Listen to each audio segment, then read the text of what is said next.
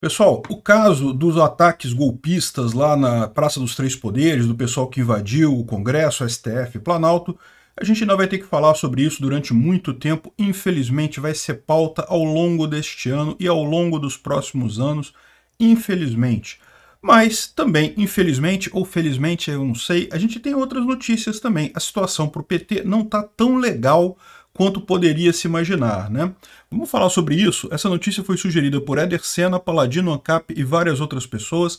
Obrigado aí ao pessoal que sugeriu a notícia, obrigado a você que está assistindo o nosso vídeo. Se você gosta do nosso conteúdo, por favor, deixe o seu like e se inscreva aqui no canal, né? Pois bem, é, como a gente, a gente já viu essa notícia né, num vídeo mais cedo, né, a reação ao vandalismo fortalece o Lula. Mas a coisa não é assim também um salvo-conduto que ninguém vai mais é, criticar o Lula e coisa e tal. Né? Evidentemente, eu imagino, esses protestos querendo a saída do Lula imediatamente agora vai, vão ficar difíceis. Né? Mesmo quem fizer protesto pacífico pedindo impeachment vai ter muita dificuldade de se descolar dessa turba golpista aí que ninguém mais quer contato com esse pessoal. Né?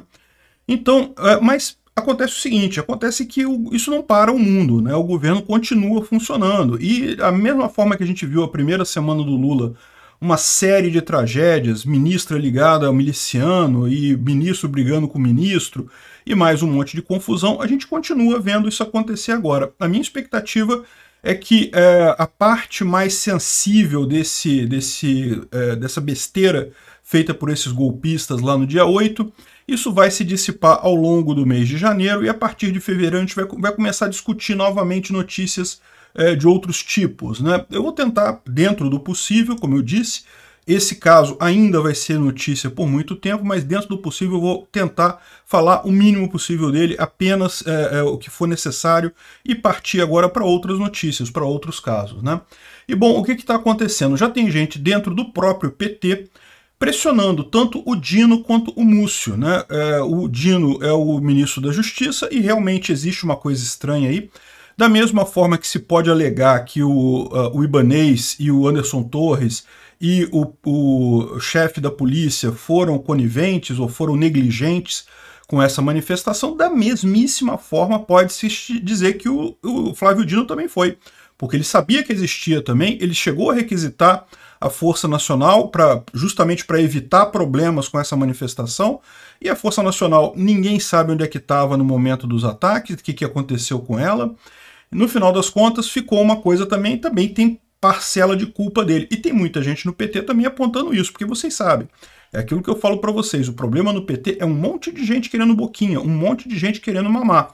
Então, se tem um cargo como o Dino que pode ser tirado e pode entrar outra pessoa, você pode ter certeza que tem alguém ali dentro do PT querendo mamar nessa tetinha. Caralho, me passou uma imagem terrível agora na cabeça.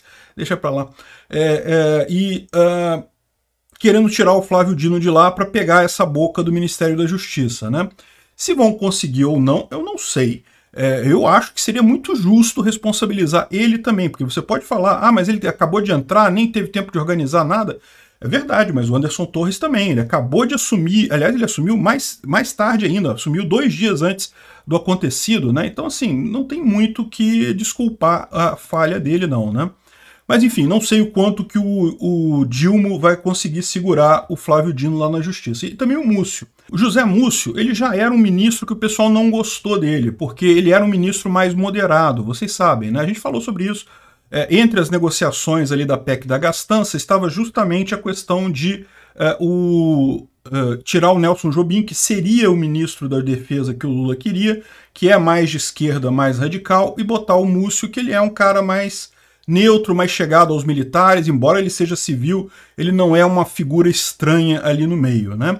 E daí já tem gente agora criticando o Múcio também pelo mesmo motivo, né? É, é, havia uma pressão muito grande para acabar com esses acampamentos do próximos a quartéis, né? Depois do momento que o Lula assumiu, não tem mais muito sentido esse tipo de protesto ali, né? Ou seja, havia uma expectativa dessas pessoas que Bolsonaro fosse fazer alguma coisa. Eu sempre disse que ele não iria fazer, até porque não tinha condições de fazer isso, não tinha evidências que ele fizesse qualquer coisa, mas é, virou o governo, já assumiu o Lula, já subiu, já subiu a, a rampa, e aí, né? Já estava na hora do pessoal ir embora mesmo, né? Só que parece que o Múcio queria fazer isso devagarzinho e coisa e tal. e acabou sendo muito criticado por isso. Né? Vai rodar um desses dois? Eu não duvido que rode. E é bom porque é aquilo que eu falo para vocês. O Lula está tá tendo que arrumar uma, uma, um monte de gente para apoiar ele nesse governo, está muito difícil. Ele não consegue apoio de, de, efetivo. Por quê? Porque ninguém gosta do Lula no final das contas. A verdade é essa. O pessoal está aceitando apoiar o Lula apenas por questão de, né, de cargo, de é, possibilidade de corrupção, sei lá por que motivo. Então, é, isso deve começar a dar problema para o Lula esses cargos lá também, né? E agora o pessoal já está lembrando aqui no Estadão que precisa-se ainda mais cuidado com a economia. E é verdade, né? O Brasil sofreu um ataque à democracia que é absurdo, promovido por golpistas, e não tem dúvida alguma que isso ajudou o Lula. O Lula que estava sozinho, estava abandonado, ninguém queria nem tirar foto com ele os governadores não foram a Brasília para tirar foto com ele. Aí aconteceu esse evento, não, foram todos os governadores. Não, não tem como. O que, que eles iriam fazer? Qualquer um que não fosse ser chamado de golpista. Não, não pode. Foram todos lá, tiraram foto com ele e prestaram solidariedade, e tem que fazer isso mesmo, não tem jeito. E, enfim, uh, no final das contas, isso daí agora deu alguma folga para o Lula, mas comprou alguma folga. O fato é que, do ponto de vista econômico, isso até piora as coisas. Por quê? Porque dá uma visão de instabilidade no Brasil para o pessoal de fora. Né? Lembra, investidor, na hora de botar dinheiro num país, esse, aliás, era um dos pontos que eu falava que seria ruim se Bolsonaro desse o golpe, se Bolsonaro fizesse alguma coisa, seria muito ruim, porque no final das contas a gente perderia um monte de incentivo, um monte de investimento internacional porque no momento que você tem uma ditadura, que você tem um governo de exceção, aí você não tem mais. Os investidores não vão querer botar dinheiro num negócio que eles não sabem como é que vai funcionar, quando é que vai sair o presidente, quando é que vai acontecer as coisas. Então, eh, agora a gente tem uma coisa, não é tão grave, mas é menos, é também algo assim, né? Porque deixa eh, a imagem de que o país Pra gente aqui no, no, Brasil, a gente sabe que não teve nenhuma chance desse pessoal derrubar o poder ou tirar o Lula, nunca teve chance de nada. Foi realmente uma birra de golpista idiota que não sabia o que fazer e foi lá quebrar a porta porque perdeu a eleição, né? Quebrar as coisas todas. A gente sabe que não teve, não teve nenhum dano à democracia em si, apenas simbólico. Agora, é, lá fora, o pessoal pode ver isso como um aumento da instabilidade aqui no Brasil, e daí a, a chance de ter menos investimento, de piorar ainda mais a economia aqui no Brasil, né? Mas é lógico, o grande problema da economia aqui do Brasil não é esse. Esse é o menor dos problemas, na verdade. O grande problema é justamente que o Lula tem um perfil expansionista de gasto, quer gastar mais coisa, e, além disso, para é, aplacar coisas políticas, para aplacar aliados políticos querendo cargos, ele aumentou de 9 para 17 os ministérios ligados à economia e botou político em todos eles. É todo, é todo mundo político, não tem um técnico ali, uma pessoa que seja da área econômica, um Paulo Guedes da vida, ou seja, é todo mundo político e no final das contas o que, que vai levar? Isso vai levar a decisões ruins e decisões lentas, né? É o que o pessoal está colocando aqui, ó. a Folha coloca isso aqui. A decisão do Lula de fatiar a economia abre caminho para lentidão e divergências, né? Primeiro, lentidão. Por quê? Para você tomar uma decisão agora, muitas coisas envolvem mais de um ministério agora e vai ficar mais complicado. Você tem que fazer reunião, tem que acertar com o ministro e coisa e tal. E pode ter divergência. Pode ser que o ministro da Fazenda, que é o Haddad, queira, o ministro do Desenvolvimento, que é a Tebet, não queira.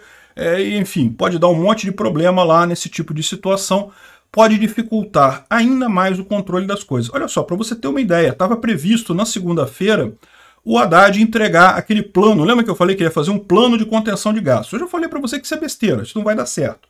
O Lula vai aceitar o plano do Haddad? Vai, vai aceitar o plano do Haddad, vai cortar um monte de coisa, coisa e tal. Mas na primeira crisezinha, na primeira coisa, coisa e tal, ele vai dizer que não, agora acabou, agora a gente não pode cortar nada, porque se cortar a gente perde apoio, não sei o que lá, e vai abrir a torneira de novo. Então esse plano do Haddad vai ser um plano pro forma, aquele negócio, aquela intenção que nunca será seguida de fato, né? E ele já adiou a entrega do relatório dele, já deu ruim já, porque com essa, essa nova notícia a coisa toda ficou muito mais séria, né? Enfim, e o que a gente está vendo acontecer é justamente isso, né? Os investidores estão deixando o Brasil e vão para a Ásia. A Bolsa de Valores, ela até deu uma subidinha depois, porque justamente o pessoal viu que com o governo mais focado no Lula, com Lula com um pouco mais de união nacional, ele poderia fazer alguma coisa, então deu um pequeno aumento na Bolsa, mas a, perspectiva minha, assim, é, subir e descer bolsa acontece todo dia. Agora, a perspectiva minha no médio prazo é que isso vai só piorar, né? As pessoas vão, eh, eh, principalmente investidores estrangeiros e daqui a pouco investidores brasileiros também, né? Outros problemas que você tem, por exemplo, o caso aqui da é, Iberdrola, que é uma empresa espanhola que veio para o Brasil para participar de privatizações no setor elétrico e chegou a comprar algumas empresas no setor elétrico, só que acontece que agora o Lula falou que não vai privatizar mais nada, que parou privatização e coisa e tal. A empresa teve até uma queda na bolsa, porque não só não vai ter mais privatização, como o Lula já disse que o governo dele vai ser um governo hostil com empresas privatizadas. Né? Então, isso realmente é um recado muito ruim para o uh, para o mercado. Muitas empresas gostariam de investir no Brasil, por exemplo, em saneamento básico. Saneamento básico com o marco do saneamento é algo excelente, uma coisa linda. Podia ter um monte de empresas mais investindo aqui, agora vai ter menos, porque o pessoal tem que ter, acima de tudo, além de tudo, além de ter o dinheiro, de ter a disposição de investir, coisa e tal, tem que ter a coragem, né? Porque realmente a gente está agora num país é, cuja condução econômica não é das melhores. Tem uma, uma, outra notícia aqui, eu não tenho certeza se isso é verdadeiro, porque está vindo na, aqui no, no Twitter, né? E você sabe, essas notícias de Twitter a gente nunca tem 100% de certeza, mas parece que o grupo Guararapes fez uma, um downgrade muito grande lá, na, lá no Ceará e demitiu 2 mil funcionários e fechou a fábrica que tinha no Ceará, né? Ou seja, é, eu não duvido que muitas empresas vão acabar fechando aqui no Brasil. Eu espero que não, tá? Eu acho isso triste. Eu, eu espero que eu tinha expectativa antes de que a, a, economia iria andar tão mal que rapidamente a gente, o Lula acabaria fazendo algum crime de responsabilidade, alguma coisa, alguma besteira lá no governo. E aí, no momento que o Lula mijar fora do pinico, meu amigo, aí já não é mais golpe. Aí você pode pedir o impeachment dele. Jamais de forma violenta, mas de forma pacífica, um protesto pedindo o impeachment do Lula é perfeitamente razoável. A gente já pode pedir daqui a pouquinho se for o caso. Eu acho que agora ficou mais difícil, tá? Eu já falei para vocês, eu acho que agora, esse ano, eu já comecei a achar que é difícil. Eu já, tava, já tinha expectativa de começar a fazer agora em março. Tinha combinado com vocês, vocês lembram? Falei, olha só, março já tem uma data boa para a gente começar a fazer essas manifestações contra o Lula pacíficas. Agora, eu acho que não vai rolar mais tão cedo. Vamos ver, vamos ver como é que a coisa caminha. Vamos ver quanto tempo dura essa lua de mel do Lula recém-dada de presente para ele por esses golpistas, né? Quanto tempo isso dura? Eu espero que dure pouco. Obrigado por assistir o vídeo até o final. Além de curtir, compartilhar e se inscrever no canal, considere se tornar patrocinador com valores a partir de R$ 1,99 clique no botão Seja Membro abaixo para saber as condições e vantagens de patrocinar o canal. Mais informações sobre o nosso projeto, visite nossos sites indicados na tela.